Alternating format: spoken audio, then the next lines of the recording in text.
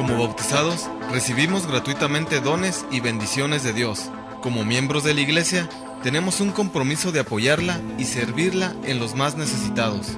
Ley aplicada, ley aplicada, para dar respuesta a tus dudas más frecuentes sobre la ley aplicada en la Iglesia Católica. Ley aplicada. Comenzamos.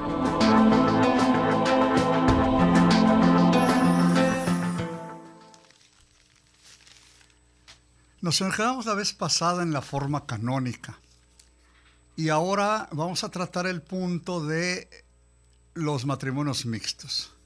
¿Qué es un matrimonio mixto? El matrimonio entre un católico y un acatólico. Acatólico que puede ser no bautizado, puede ser bautizado en la iglesia católica pero que sea separado, puede ser un bautizado en otra iglesia no católica, o puede ser alguien que se equipare a los acatólicos, como son los que han abandonado notariamente la fe, los pecadores públicos.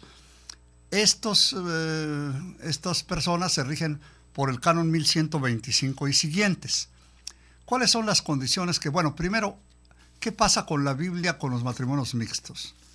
Si miramos en el Antiguo Testamento, eh, hay una intolerancia absoluta al matrimonio con extranjeros, extranjeros de sangre y sobre todo extranjeros de fe. Basta nada más recorrer el libro de Nehemías, Esdras y Nehemías, en el capítulo noveno, para darnos cuenta cuando Esdras urgió al pueblo, a todos los jefes, a que todos aquellos que se hubieran casado con extranjeras, que eran la mayoría, que tuvieran mujeres extranjeras, las despidieran con todo y sus hijos. Como vemos, esto pues era en el Antiguo Testamento, pero en muchas de las iglesias católicas, evangélicas, pequeñas sectas, actúan de la misma manera. De tal manera que prácticamente solamente en la iglesia católica hay matrimonios mixtos, ni siquiera en las iglesias ortodoxas que tienen unas legislaciones muy diferentes a la nuestra, pero el concilio trulano allá por el año 600 y tantos, 500 y tantos, eh, prohibió absolutamente las bodas mixtas, sobre todo con los no bautizados. Eh, como digo, la, actualidad las iglesias orientales a católicas tienen diferentes legislaciones, pero podemos decir que no son como la iglesia católica que sí admite de buena fe los matrimonios mixtos. ¿Qué significa de buena fe? En que cada uno de los dos se compromete a seguir su religión sin obstaculizar la del otro. Ese es el verdadero matrimonio mixto, ¿verdad? Porque si yo soy el varón y digo, tú tienes que seguir mi propia religión y yo soy evangélico, evidentemente que eso no es un matrimonio mixto. Ni al revés, ni que un católico le digo, sí, te vas a casar conmigo, pero vas a ser católica necesariamente a fuerzas, entonces no es un matrimonio mixto. Un matrimonio mixto es en que cada uno de los cuales dice, yo voy a seguir mi religión y tú la tuya. Pero tiene ciertas condiciones, sobre todo cuando ya llega a terceras personas que son los hijos. Yo les ponía de ejemplo que si alguien, un niño va agarrado de sus padres, ¿verdad? En los chiquitos les encanta ir con el papá y la mamá al lado.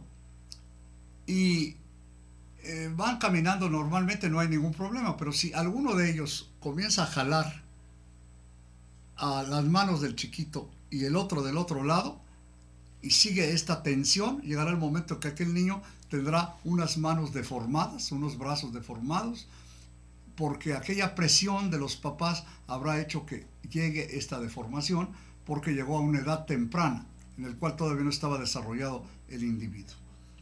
Así pasa con los matrimonios mixtos. Generalmente los matrimonios mixtos se quedan sin nada, los hijos se quedan sin nada, ponen entre paréntesis el problema religioso porque no tienen capacidad y no quieren y con justa razón juzgar a sus padres y eh, se forma una coraza eh, para la formación religiosa. En realidad, antes de contraer un matrimonio mixto, tienen que hablar los dos, porque por derecho natural uno de los dos debe ceder, por lo menos por un tiempo, la educación del otro, en la religión del otro. Ya que la persona esté suficientemente desarrollada, podrá decírsele, bueno, pues yo me casé con tu padre o con tu madre y teníamos religiones diferentes y hemos sido felices, pero eh, ahora tú ya puedes eh, revisar la religión que, te dimos, si es que así lo considera el otro cónyuge necesario. Claro que para casarse por la Iglesia Católica, no por derecho natural, eso es por la naturaleza de las cosas, eh, se requiere que se comprometa la parte católica a educar católicamente, bautizar y educar católicamente a los hijos. Esa es la condición para dar la dispensa, sea de disparidad de culto, que va por la validez, cuando hay, no, la persona no está bautizada, sea de mixta religión que se llamaba antes, ¿verdad? Cuando eh, uno de los dos está bautizado dentro de la iglesia y se ha separado de la iglesia o fuera de la iglesia católica.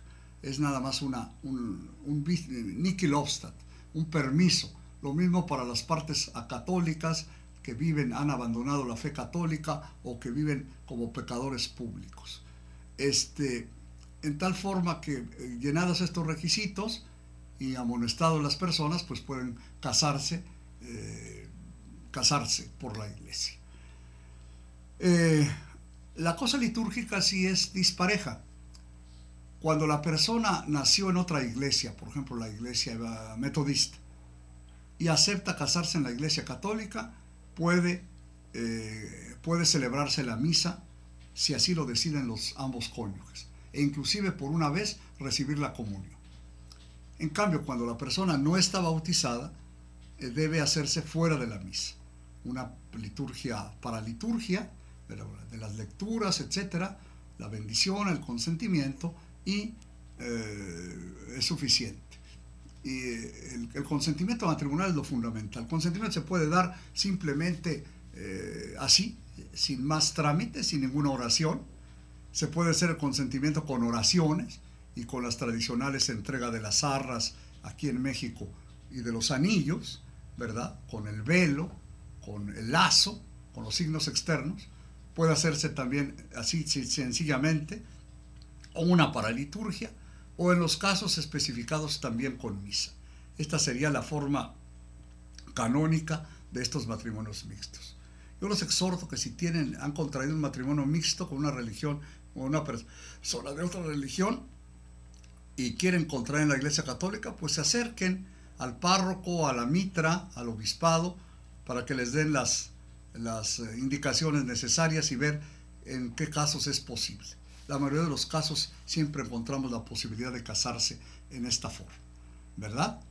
Eh, hay casos, como más ahorita les voy a contar un caso muy específico, muy, muy bonito, eh, pero ojalá que todas esas personas que aquí en Tijuana es una cosa terrible, la mezcla de religiones que hay, ¿verdad? Por la, por la frontera, por el, eh, todo esto de la migración, etcétera, cantidad de gente católica y que, o que no está bautizada y que pudiera regularizar su matrimonio, aunque a veces la gente le da una facilidad, estoy pensando en un caso que yo le había pedido de Roma, que, eh, y sin embargo a la mera hora como que no, no sé qué pasó por ahí, pero a veces se entorpece porque pues la otra parte, sobre todo la gente es muy temerosa de su familia.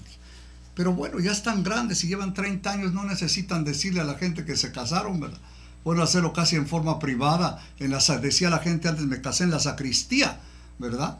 ¿Por qué? Porque se casaba en la sacristía, los matrimonios mixtos no se podían celebrar dentro de la iglesia, se casaba en la sacristía o en misa de siete, ¿verdad? De la mañana que nadie iba los domingos, digo, no la gente, ¿verdad? Que va a ver las fiestas, o bien este, se casaban ahí, nada más el párroco les daba la bendición así en forma sencilla, no se velaban, ¿verdad? La velación es la ceremonia nupcial, ¿no? La ceremonia. Acabo de ir precisamente este domingo a casar, no, este sábado pasado, a casar a una familia que habló de Coinonía, Radio, ¿verdad? Pensando la señora en su papá, que no estaba casado, ya es muy viejecito, ¿verdad? Con, son dos, dos personas de Sinaloa, ya los casamos en su casa con la sola bendición, les di la comunión, la unción de los enfermos y la bendición. Y le puse ahí la nota por si algún día quieren, eh, por sus hijos pensaban a lo mejor hacerles una fiesta ahora que cumplan 50 años o, no sé cuántos, bueno, pues le puse una nota que eh, no impide que se velen, que quieren velarse, tal vez quieran velarse posteriormente al párroco para que vea y, y sepa de qué se trata. Así es que la iglesia da toda clase de facilidades cuando hay buena voluntad. Cuando ya no hay buena voluntad, entonces cuando se atoran las cosas, que la gente quiere hacer lo que, lo que quiere Y, pues no, ¿verdad? No se puede hacer lo que uno quiere en ninguna línea.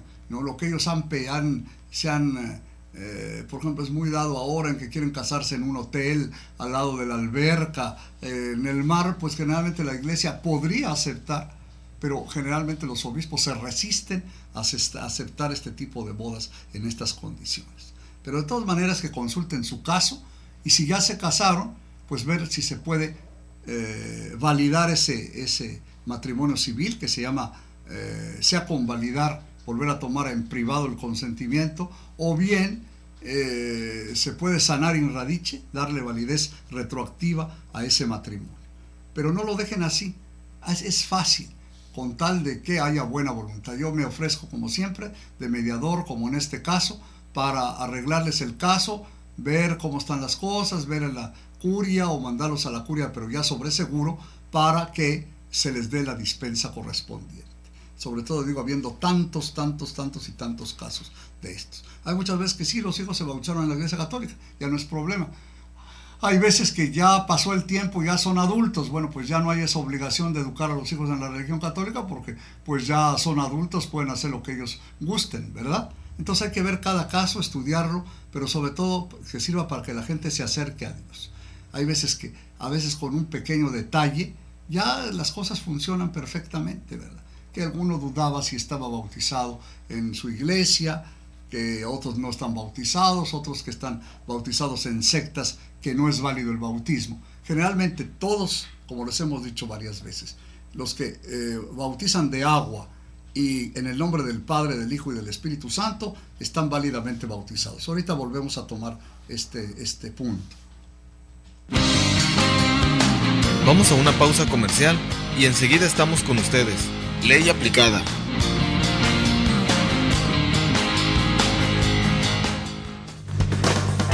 Sammy's Bakery apoyando a Coinonía Radio. Por cada donación que hagas en Sammy's Bakery de 10 dólares o más para el sostenimiento de Coinonía Radio, te regalarán un pan y un café. Solo tienes que entregar tu aportación en un sobre con los siguientes datos: nombre, dirección, teléfono y fecha de cumpleaños, y entregarlo en Sammy's Bakery. Estamos ubicados en 6181 Imperial Avenue, San Diego, California, 92114.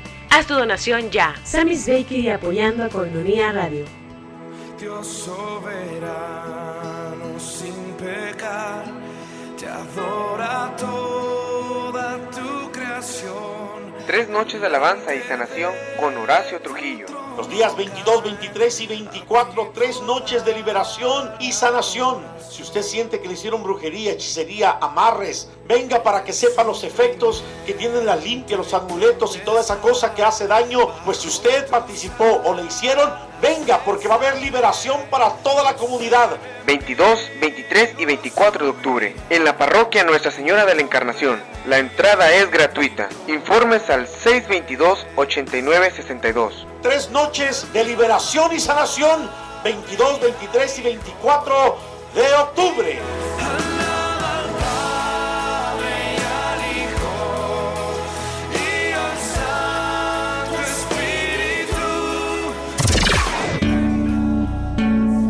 Gracias a ti somos más los que preferimos la radio con valores y la radio que nos forma como verdaderos católicos. Gracias, Coinonía Radio, levantando la voz para evangelizar.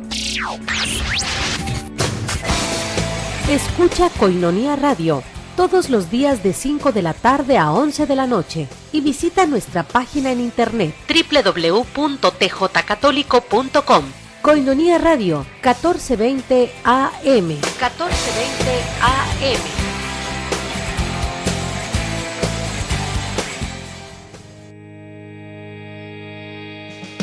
Hola amigos, yo soy John Carlos y quiero invitarte a que sigas escuchando Coinonía Radio, la radio que te acerca a Dios.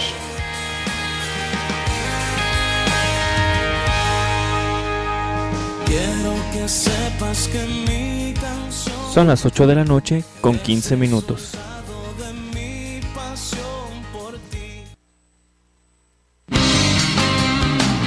Ley aplicada. Estamos de regreso. Aclara tus dudas. Comunícate al teléfono 622-8962 en Tijuana y 866-228-4305 desde Estados Unidos. Continuamos en Ley Aplicada, Ley Aplicada, Ley Aplicada.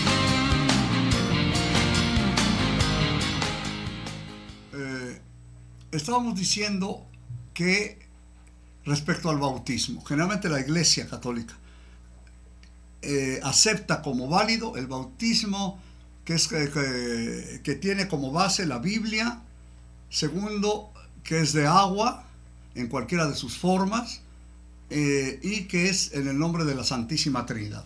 No acepta porque eh, es un bautismo que no admite la divinidad de Cristo cuando se bautiza en el nombre de nuestro Señor Jesucristo. Esto lo hacen todos aquellos para evadir la fórmula de la Trinidad y saber que la Trinidad es la divinidad de Jesús, que es lo mismo que la Trinidad de personas, es absolutamente indispensable para, para ver que es la misma fe, que somos cristianos.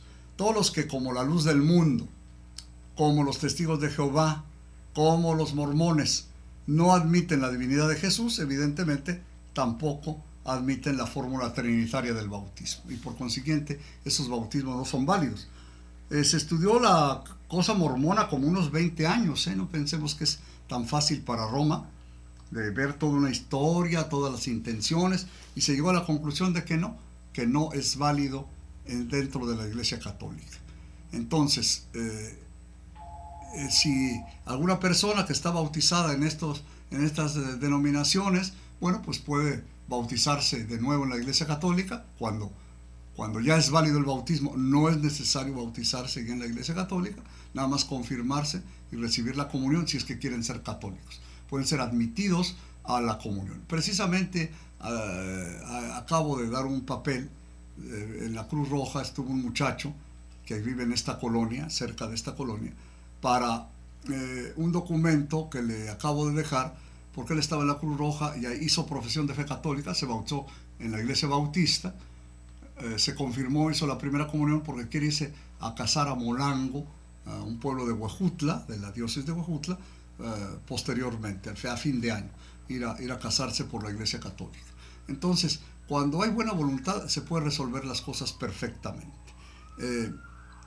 Y si no, pues el sacerdote o la parroquia debería tener la capacidad de resolver todos estos problemas. Lo que le falta a la gente para poder contraer matrimonio, sea en forma de matrimonio mixto, sea ya ah, aceptado en la Iglesia Católica y eh, completados los sacramentos necesarios. Eh, hay casos así muy, muy, muy bonitos. Yo recuerdo uno que tal vez les he contado hace sus años, que era una persona que nació en México cuando la colonia china vino al principio por los años mil, eh, los años del presidente Calles, ¿verdad? Tuvieron un auge mucho en Sinaloa, luego Calles que hizo tantas cosas, pero tantas cosas que, a veces no, no, no, no, no sacaba el tiempo para decir todas las cosas negativas que hizo, corrió a los eh, chinos, e hizo que estos chinos se replegaran precisamente a Tijuana y Mexicali. Aquí Tijuana y Mexicali está lleno de chinos y muchos pasaron a la Unión Americana, donde las colonias chinas, por ejemplo en San Francisco y en otras partes, son muy notables, muy fuertes, ¿verdad? Entonces, esta persona nacida en México y por consiguiente ya católica, se fue a China y allá la, la agarró la revolución cultural. Y aunque era nacido en México, no le permitieron salir ¿verdad? La revolución cultural en China fue terrible. Millones de muertos, ¿eh? No sabemos lo que, cómo se portó Mao, como un dictador impresionante, como se habían eh, comportado los emperadores chinos de otras épocas, con, con eh, la sepultura de millones de gentes dentro de sus ejércitos, sepultados casi vivos, ¿verdad? Eran, eran verdaderamente crueles los, los emperadores chinos, y todo dictador lo es. Entonces esta mujer contrajo matrimonio en una ceremonia familiar, porque ningún sacerdote, ni mucho menos, fueron, no quedaba casi nadie, era muy difícil conseguir un sacerdote, ni siquiera saber que existía, porque eh, te metían a la cárcel o te fusilaban. Entonces se casó en una ceremonia familiar con un chino pagano, lógicamente. Bueno, cuando Echeverría volvió con las relaciones a China, fue a China y ya se hicieron de nuevo las relaciones, entonces ella, al poner el consulado mexicano, la embajada mexicana, reclamó la ciudadanía mexicana. Y se vino con su esposo y su hijo, dos hijos, no sé, no recuerdo exactamente, se vino a, allá ven que allá la natalidad es terriblemente restrictiva. Entonces se vino a México. Cuando llegó a México ella, pues lógicamente buena católica, como se había formado cuando era chica, jovencita, fue a ver a la Virgen de Guadalupe y se confirmó y vino, se fue a confesar a una iglesia cuyo nombre no decimos, ¿verdad? Ahí en el centro de la ciudad. Entonces el padre le dijo, no, no, no, no, no puedes comulgar porque tú no estás casada por la iglesia. Pero padre, es que yo me casé y bla, bla, bla. Bueno, total fue a la curia, donde yo trabajaba en ese tiempo.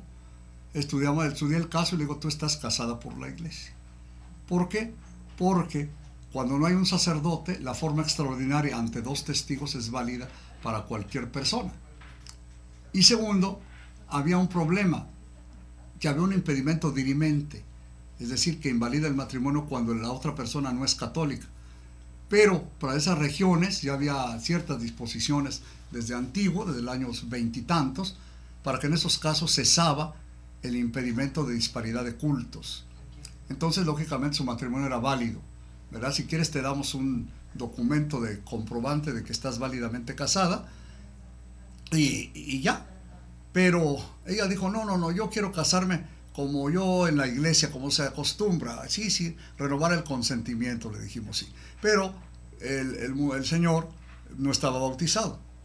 Ella, le decimos, no, es que tu esposo no está bautizado y queremos mandarlo. En ese tiempo había en México el párroco de la colonia china, que era un padre Ramírez que había estado muchos años de misionero en China. Era, Josefino. Y, y le dijimos que tiene que hablar al misionero chino porque no sabía una palabra de español, ¿verdad? Entonces dijo, no, con una seguridad como toda mujer al fin y al cabo, dijo, no, se va a bautizar porque yo lo digo. Señora, no es eso, sino queremos que tenga una pequeña preparación o que el sacerdote en chino le explique, ¿verdad? Le explique más o menos lo que es si quiere bautizarse. Total, terminó con happy end, se bautizó, se casaron, ya no se casaron, realmente renovaron su consentimiento. En ese momento ese matrimonio que no era sacramental se hace sacramental, porque ya los dos estar bautizados, y eh, la cosa quedó muy bien. Entonces, vean ustedes que esto de los matrimonios mixtos tiene sus aplicaciones concretas en muchas circunstancias, ¿verdad? Hay que verlos, o que se han casado en otra religión.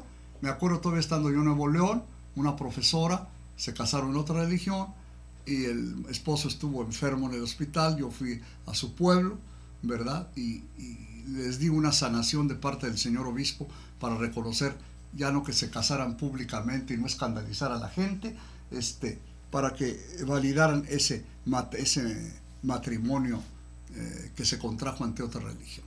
En fin, hay muchas soluciones cuando hay buena voluntad de las personas, vuelvo a decir a ustedes. Si hay alguien que esté casado en estas circunstancias, que se ha casado en otra religión. Ve, veamos a ver en cada caso para ver si es válido, si no es válido, cómo estuvo la cosa, para ver cómo, cómo, cómo solucionamos el problema. Tiene diversas aristas para, para poder resolver bien el problema. Pero tiene solución, como vuelvo a decir, cuando hay buena voluntad de las gentes. Hay otras cosas que ahora se usan, no se usan mucho lamentablemente, se usaron un tiempo, apenas aparecieron, pero ahora veo que han declinado, los matrimonios llamados así ecuménicos. Precisamente un alumno mío de Monterrey me acaba de consultar de un caso, yo le di mi opinión, que era la misma de él, porque eh, el matrimonio, este tipo de matrimonios ecuménicos donde ambos ministros, católico y evangélico de otra religión están presentes, hay que saber distinguir qué es lo que va a hacer cada quien. Primero, pueden hacerse, por ejemplo, si es una boda católica en que interviene un ministro protestante, se le puede hacer que reciba a los novios, que diga la humilía, ¿verdad? Una, unas palabritas o la humilía correspondiente, que le haga las lecturas, que eh, regrese la oración comunitaria, pero si el matrimonio es católico, el consentimiento tiene que darlo el sacerdote católico, tiene que tomarlo el sacerdote católico. Las otras partes se le pueden dar al ministro protestante. Si al revés es una boda en la iglesia protestante que reconoce la iglesia católica, tiene que obtenerse primero del obispo la dispensa de forma.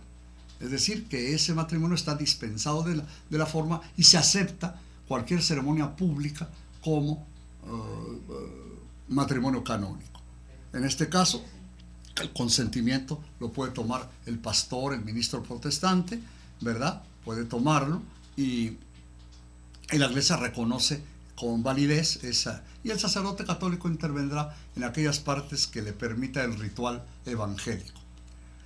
¿Cómo puede el, el, ministro evangélico intervenir con lo que le permite el ritual católico? Así es que todo esto se puede hacer, pero con los, los permisos eh, necesarios. Cuando se ha contraído un matrimonio y ahora ya le cuesta, cuesta arriba a las personas eh, de, casarse, pues eh, tiene que recurrirse a la sanación, a la, a la validez del matrimonio retroactivo para que pueda validarse ese matrimonio. Ahorita les cuento otro caso.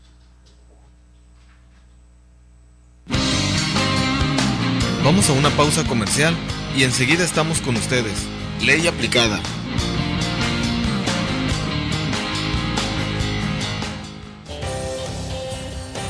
¿Sabes qué es el amor? ¿Sabes amar? ¿Existirá el amor perfecto?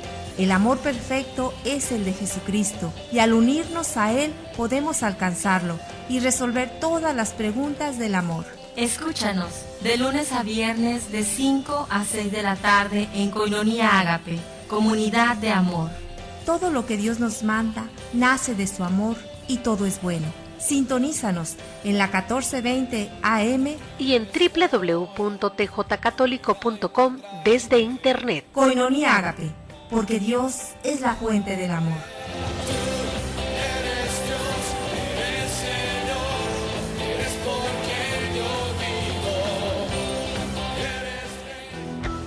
Para ti, que no puedes asistir a la celebración de la Santa Eucaristía por enfermedad, por distancia o por algún otro inconveniente, vive con nosotros la celebración de la Santa Misa, todos los días a las 6 de la tarde, en Radio 1420 AM y por internet en www.tjcatólico.com.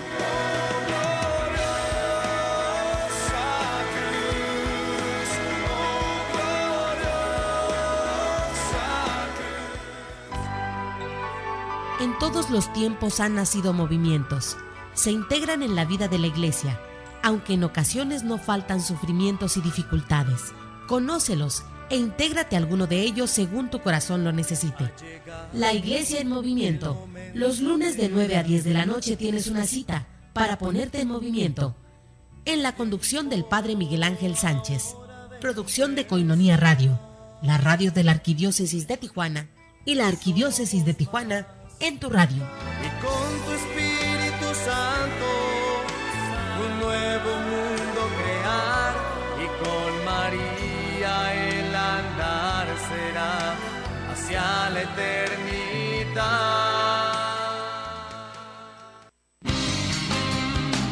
Ley aplicada. Estamos de regreso. Aclara tus dudas. Comunícate al teléfono 622-8962 en Tijuana y 866-228-4305 desde Estados Unidos. Continuamos en Ley aplicada, Ley aplicada, Ley aplicada.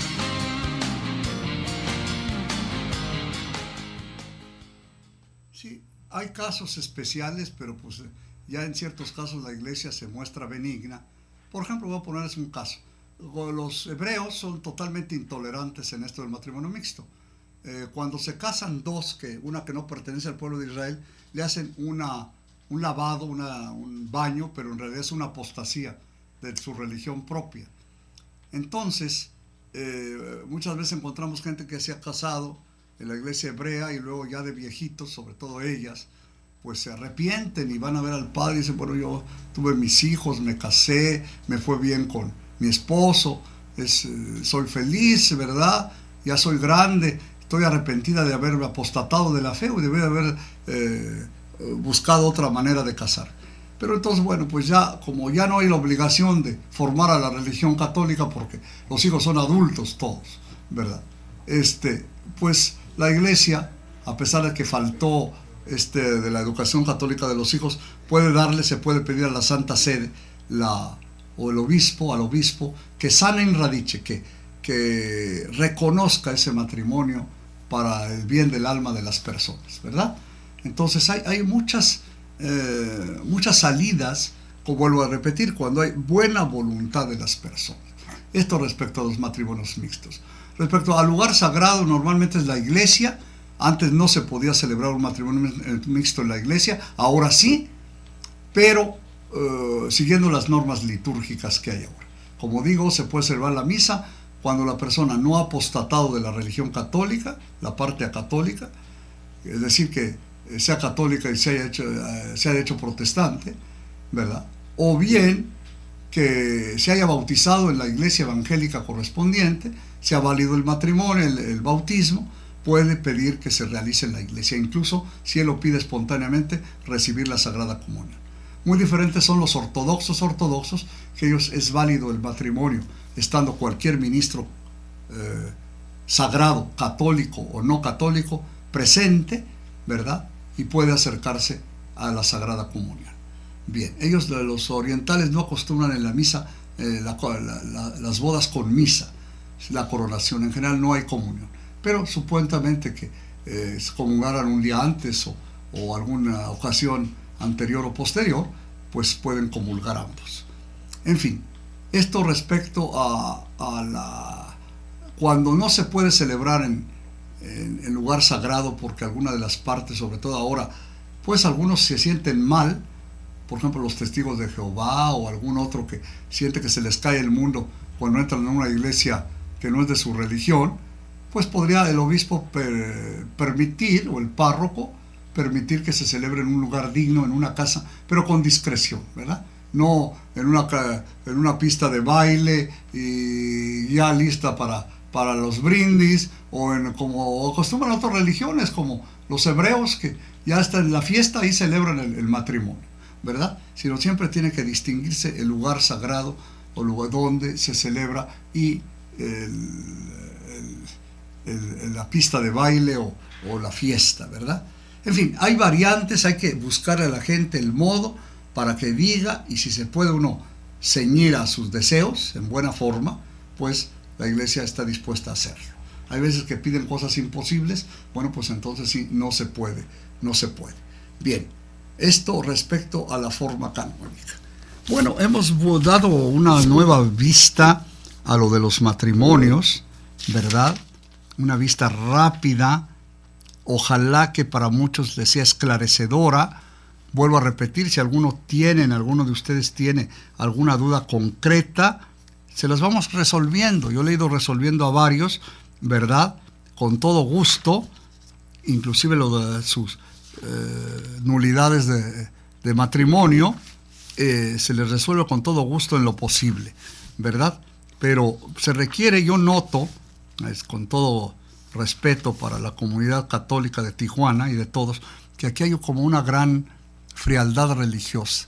Pero las cosas históricas no son la religiosidad de Jalisco, de Michoacán, de Guanajuato, de nuestras partes eh, muy católicas, ¿verdad? De Puebla, sino que es una religiosidad pues un poco fría por la influencia americana y cómo está formada la gente aquí, la mayor parte por migrantes que, no tienen, no son hijos de nadie, son hijos de Melquisedec, sin patria, eh, digo, sin patria, sin, sin padre, sin madre y sin genealogía. Entonces, eh, esto da un, colorido muy especial, pero por eso es con más urgencia que hagamos en este año de la fe, de verdad, un esfuerzo por eh, que mucha gente, la más posible, quedara regularizada en su matrimonio. Ojalá que ustedes lo tomen en cuenta. Eh, yo trato de toda la gente que trato, eh, les digo, este año de la fe hay que regularizarnos, ¿verdad? Queremos, somos creyentes todavía, por consiguiente, regularicémonos ante Dios. estará contento de que vivamos nuestra fe de una manera más coherente hemos dejado de bautizar a los hijos, hemos abandonado prácticamente la fe como tanta gente. Volvamos, volvamos, hagamos lo posible por hacerlo y con buena voluntad todo se puede hacer, ¿verdad? Recordemos que volver a la casa del Padre es ahora una de las cosas fundamentales. El Padre de los cielos no nos va a champar nada, ni nuestro Señor Jesucristo.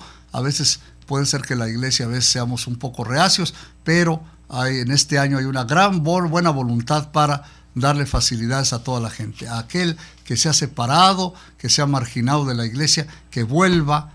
Eh, a los alejados está dedicado mm, eh, especialmente este año de la fe a los, mm, a los alejados de la iglesia. Ellos son los primeros destinatarios de este año de la fe. Ojalá que de verdad uno de los puntos de, conflicto más frecuente es el matrimonio, pues eh, lo hagamos eh, nosotros, lo revalidemos ante la iglesia, ¿verdad? Es una cosa, en realidad ya estamos viviendo eh, los efectos del matrimonio, mantener, etcétera, eh, la convivencia, la cohabitación, pues entonces, ¿qué nos cuesta eh, regularizar nuestro, nuestra vida matrimonial?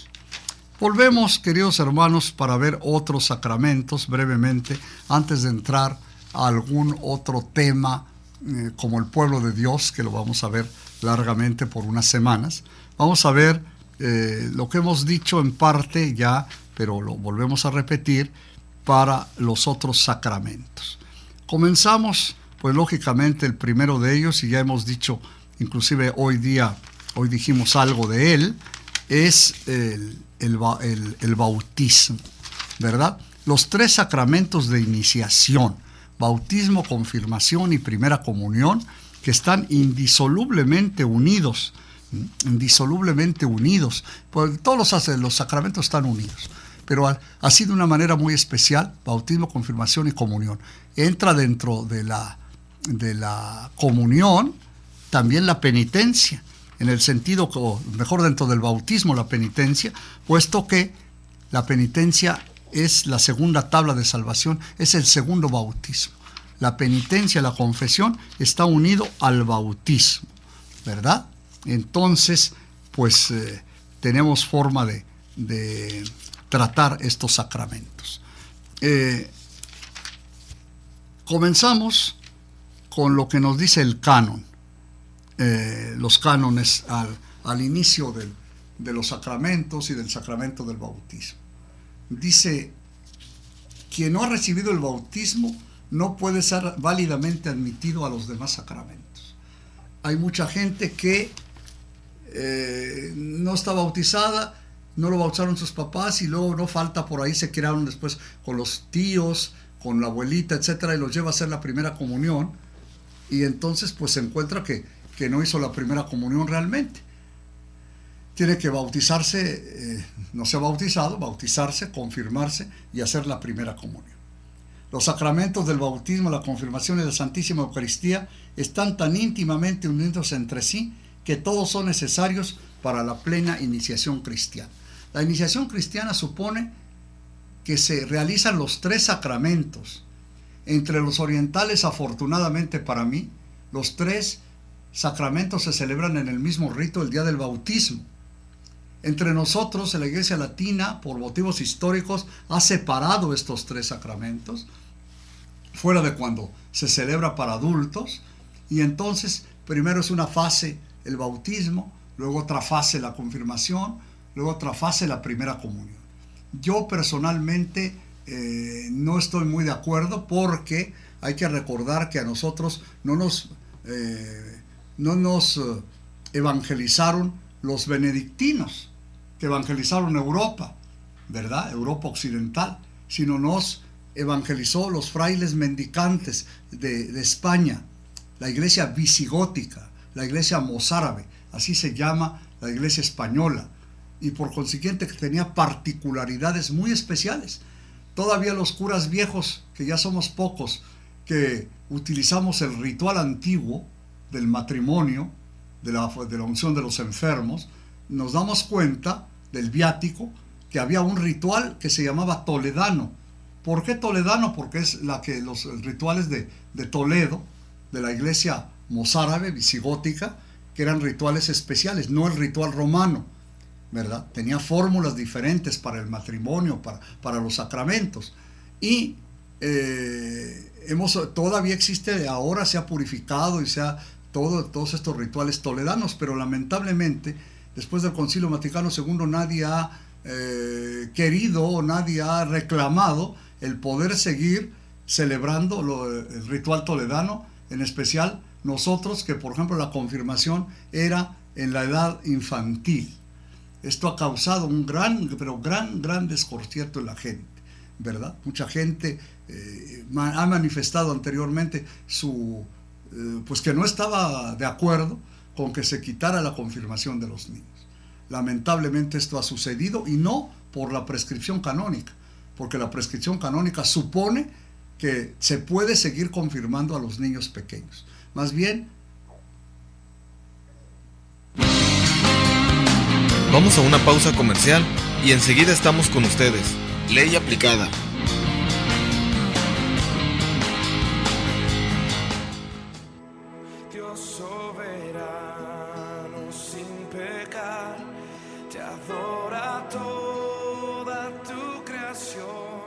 Noches de alabanza y sanación con Horacio Trujillo. Los días 22, 23 y 24, tres noches de liberación y sanación. Si usted siente que le hicieron brujería, hechicería, amarres, venga para que sepa los efectos que tienen la limpia, los amuletos y toda esa cosa que hace daño. Pues si usted participó o le hicieron, venga porque va a haber liberación para toda la comunidad. 22, 23 y 24 de octubre, en la parroquia Nuestra Señora de la Encarnación. La entrada es gratuita. Informes al 622-8962. Tres noches de liberación y sanación, 22, 23 y 24 de octubre.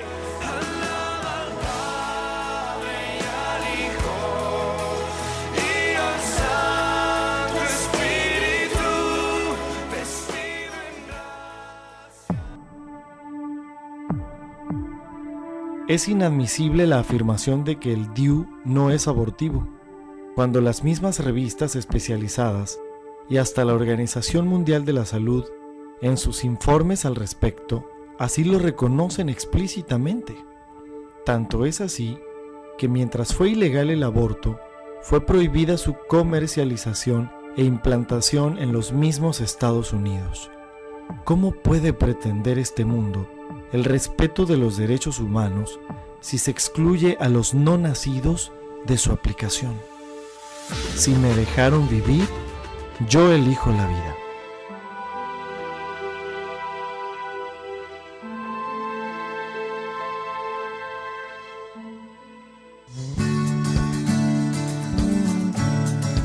Coinonía Radio, levantando la voz para evangelizar.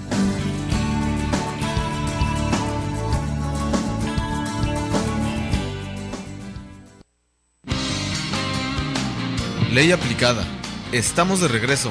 Aclara tus dudas. Comunícate al teléfono 622-8962 en Tijuana y 866-228-4305 desde Estados Unidos.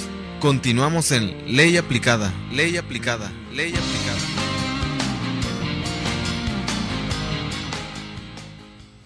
Recordemos que España estuvo ocho siglos dominada por los moros algo debió de haberles se les pegado, ¿verdad? Orientales que venían, son del Islam, pero que de todas maneras en, estos ritos de Oriente, ahorita el Papa acaba de tener una reunión en Líbano para todos los cristianos orientales, ¿verdad? Que están presentes en Medio Oriente y en Oriente, como son los países Irak, Irán, todo el Medio Oriente, Líbano, Siria, que ahora está en guerra, ¿verdad? No digamos Palestina, en fin. Y lógicamente, entre ellos está la confirmación, que fue aceptada desde muy antiguo, desde los concilios de Toledo, tal vez como allá por los años 690, 600, y por consiguiente esto pasó a América. Ya Fray Toribio de Benavente, uno de los franciscanos, de los dos franciscanos, ya venía con la facultad de poder confirmar, ¿verdad? Porque no se preveía que hubiera obispos en mucho tiempo. Los obispos llegaron posteriormente. Ellos llegaron en 24, ya Fray Juan de Zumárraga, electo, no era todavía obispo, en el año 31, fue ordenado eh, obispo posteriormente.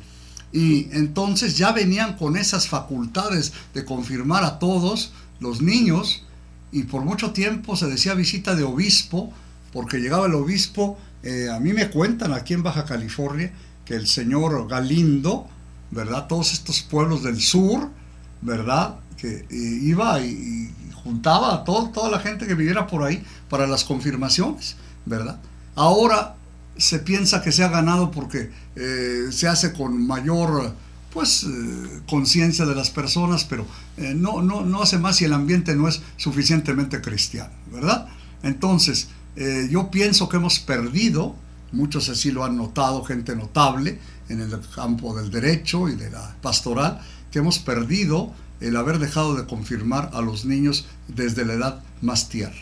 Y la primera comunión también era de pequeños.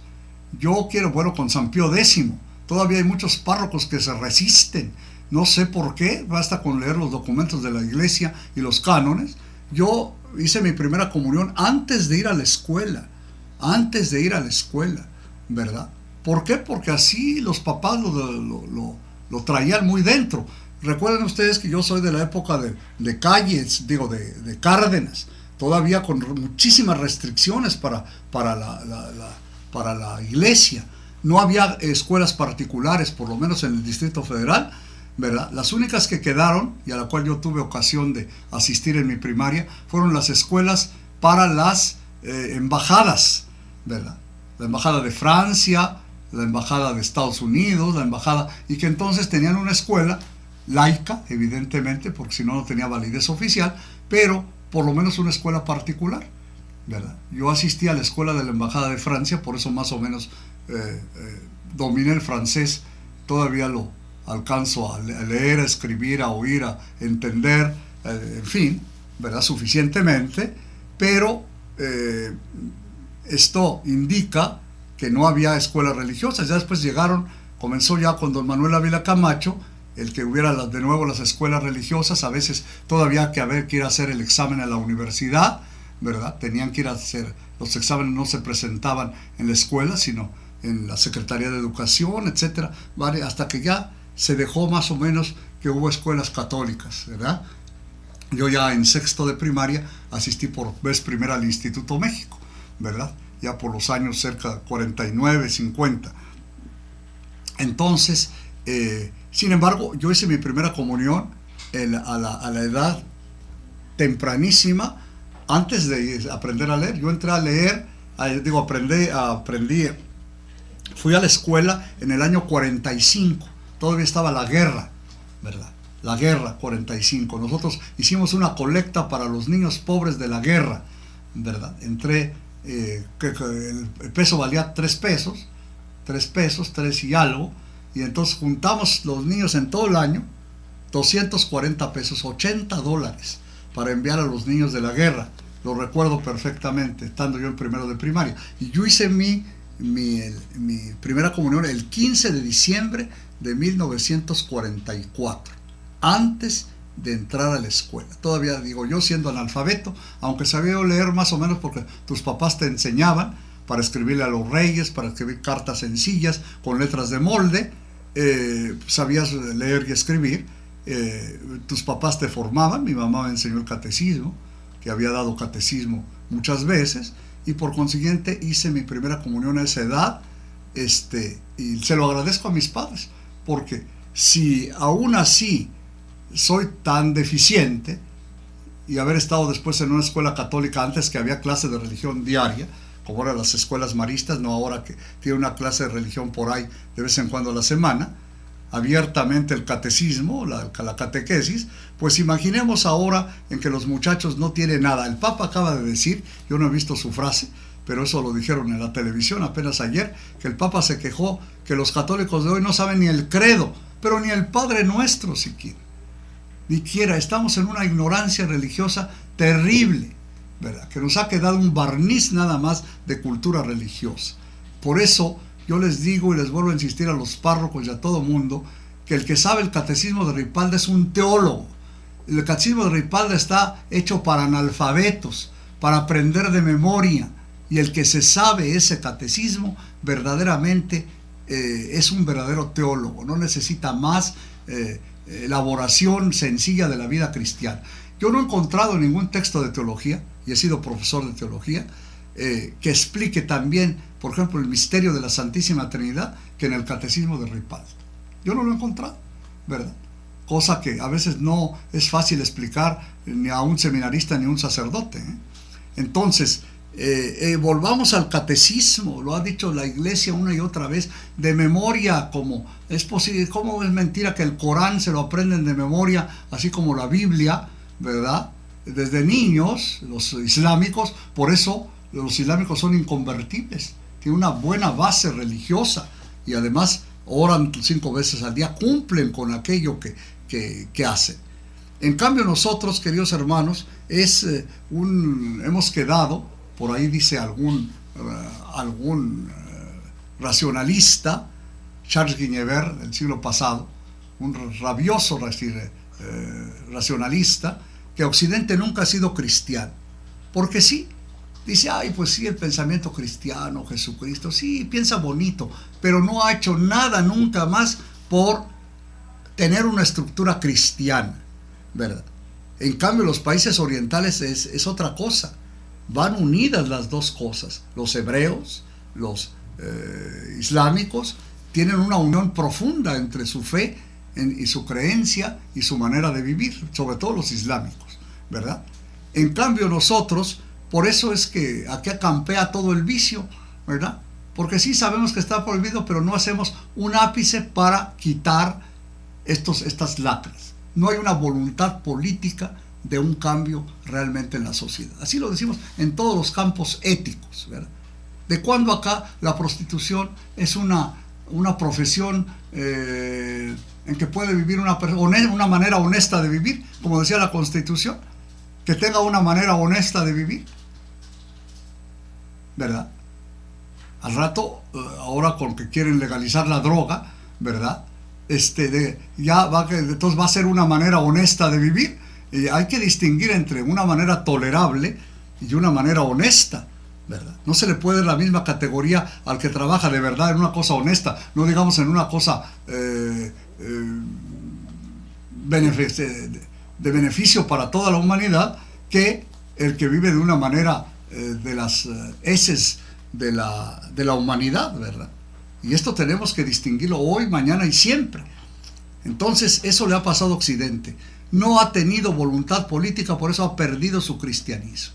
Ha perdido su cristianismo, sus raíces cristianas están a punto de perderse, como es el Papa ah, lo ha manifestado tantas y tantas veces, con el secularismo y con esta manera de ah, tibia de vivir. El Papa acaba de decir, un cristiano tibio jamás podrá convencer del Evangelio. Si nosotros somos los cristianos tibios, los cristianos mediocres de siempre, nunca podremos predicar el Evangelio. Ahora que estamos ahora en vísperas del, del, ¿verdad? el Domingo Mundial de las Misiones, y hoy eh, que sale en San Lucas el, envío de los 72 discípulos, la mies es mucha, pero los obreros pocos, queridos hermanos, eh, nunca podremos convencer con el mediocre cristianismo que tenemos, tanto en la parte particular como en las esferas sociales. Así es que es un buen momento, queridos hermanos, este año de la fe, para revisar, para cambiar, ¿verdad? Para hacer, promover todas las cosas buenas de la vida y del evangelio y de todo lo demás, ¿verdad? Todo lo económico, lo social, pero de acuerdo a las normas de la justicia y de la caridad, entonces sí podremos construir el verdadero cristianismo. Un cristianismo tibio, mediocre, light, como dicen por ahí, pues no tiene sentido. Un cristianismo que de vez en cuando cumple, que de vez en cuando oye la palabra de Dios, pero sin ninguna conexión con su vida, pues nunca podrá ser un, ejemplo para el mundo, para, para convencer al mundo, ¿verdad? San Juan tiene esta frase terrible para mí y para cualquier cristiano. Nosotros vivimos como vivió Jesús. Qué vergüenza, queridos hermanos. Cuando uno dice, yo vivo como vivió Jesús. Qué vergüenza porque no es cierto, ¿verdad? Qué vergüenza porque pues eh, entonces sería nada más una falsedad lo que está diciendo el apóstol San Juan. Ojalá que nos convenzamos este año de la fe en vivir un cristianismo nuevo, a la altura de lo que necesita la iglesia para nuestra salvación y para la del mundo entero.